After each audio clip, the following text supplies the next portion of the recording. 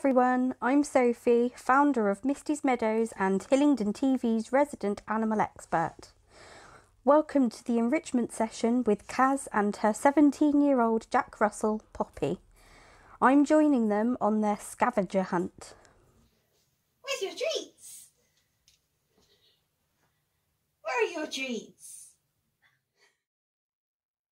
How Kaz has set up this activity for Poppy involves wrapping up some treats or it could be some of your dog's food allowance into little sheets of newspaper.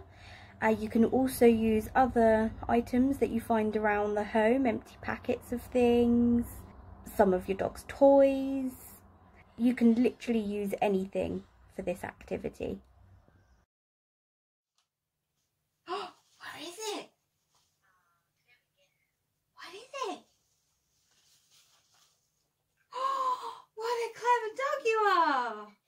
Someone does it for you.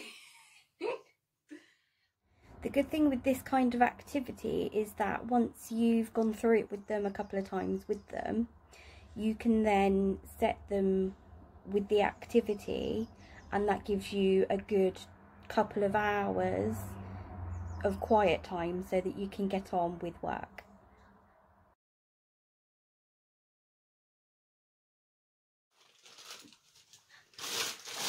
Puppy, what's this?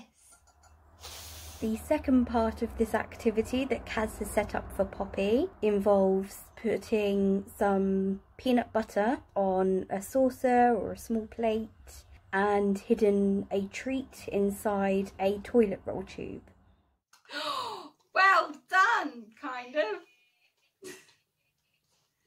so what you wanted? In this activity, the spreadable human food that Kaz has used is peanut butter. If you've never tried feeding your dog peanut butter before, you can rest assured that it is absolutely safe for your dog to eat.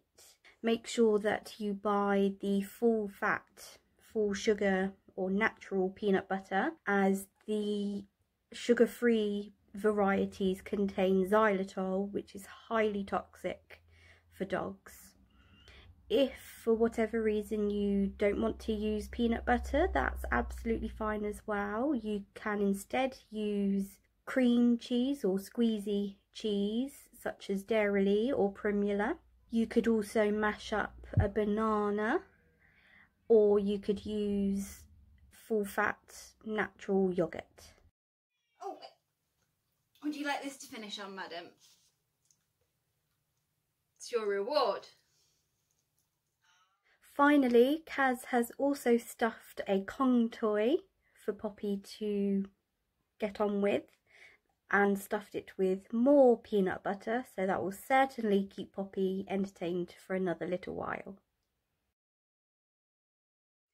To demonstrate just how effective this activity is, even after we'd finished recording the activity and Poppy had found all of the treats and the peanut butter, she continued to snuffle around in the bits of newspaper for a good hour or so afterwards, just to make sure that she had found absolutely everything.